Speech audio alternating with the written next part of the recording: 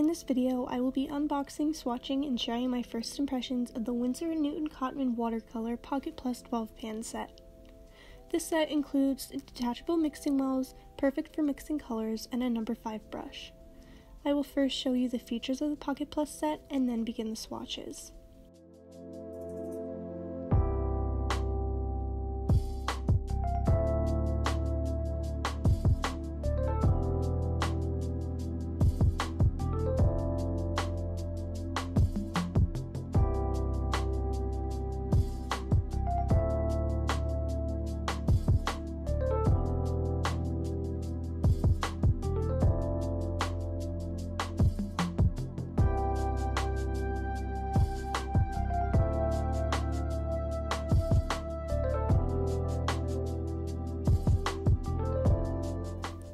As I unwrapped the half pans, I ran into a few quirks, one of which the paints may fall out of the pan. Now, this isn't too big of an issue because the pans click into place and the detachable mixing trays keep everything in firmly as you travel.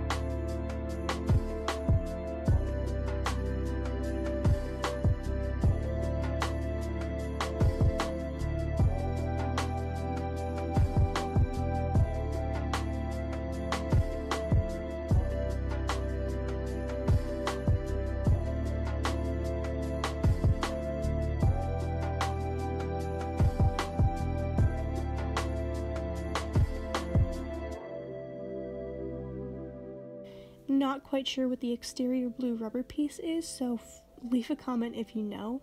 When it's on, the palette doesn't sit flat on the table, so I just removed it.